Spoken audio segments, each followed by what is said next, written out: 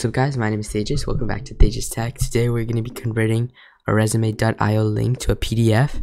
Now, basically, I made a resume on resume.io and they actually tried to charge me $5 to download it as a PDF, which I thought was really dumb. And I understand that they want to make money too, so use this at your own risk. I'm not like encouraging this, but for all my fellow broke people out here, if you guys want this quick tutorial, keep on watching, make sure to subscribe, and let's continue.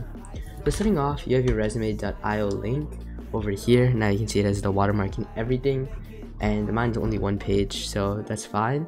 But basically, what we're gonna do is we're gonna right click and go to inspect. I think it's here.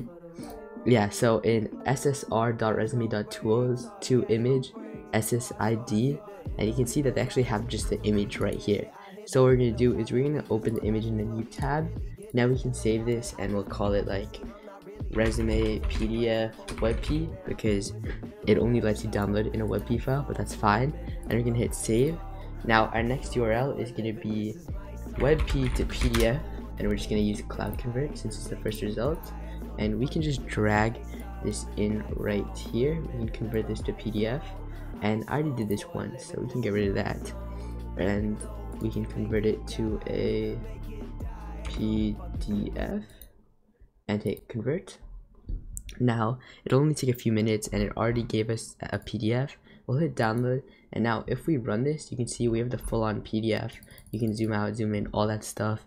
And we just saved $5 just like that. And if this helped you, make sure to subscribe and like and I'll see you guys next time.